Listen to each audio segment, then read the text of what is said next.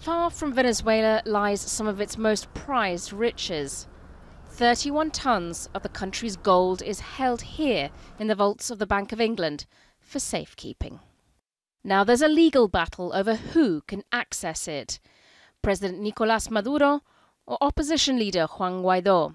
Maduro says he needs the bullion to help fund the country's crumbling healthcare system during the coronavirus pandemic. However, attempts by Venezuela's central bank to access the gold began two years ago, just after Maduro won a contested election. The Bank of England never released it, and then said last year it would recognize Juan Guaido as the interim president, not Maduro.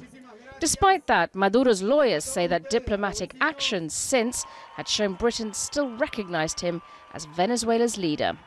But ineffectively, they have recognized that Maduro government is a de facto government. De facto means is actually in control, running the state. For example, the BCB, the central bank for my client, the president's name appears on the, on the currency note.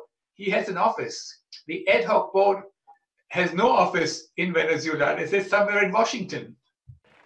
Guaido's lawyers said the bullion is his to control, as the British government and more than 50 others around the world said they would recognize him as interim president. However, Guaido's attempts to create a transitional government have been unsuccessful. There's questioning over Maduro's capacity and transparency in dealing with humanitarian aid. And I think that's also one of the main problems, not only in terms of legitimacy, but also in terms of the convenience to transfer those funds uh, to that administration. Sanctions and mismanagement have crippled Venezuela's economy and triggered a humanitarian crisis. Lawyers say the gold reserves amount to about 15% of its much needed foreign currency reserves. The case is set for another three days and could set an important precedent in relation to other frozen Venezuelan assets around the world and just who gets access to it.